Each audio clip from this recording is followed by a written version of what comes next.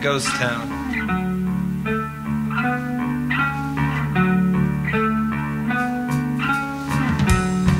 We've been flipped so much that up looks down.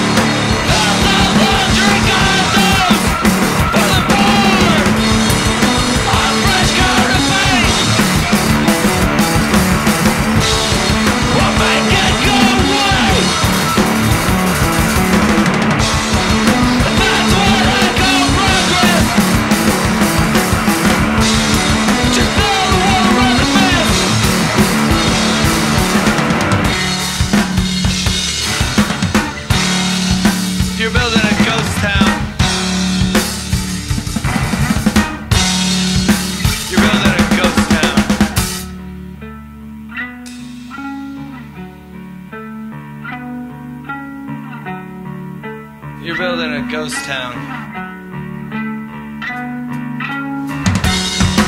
If you lived here your whole life, it's time to get out.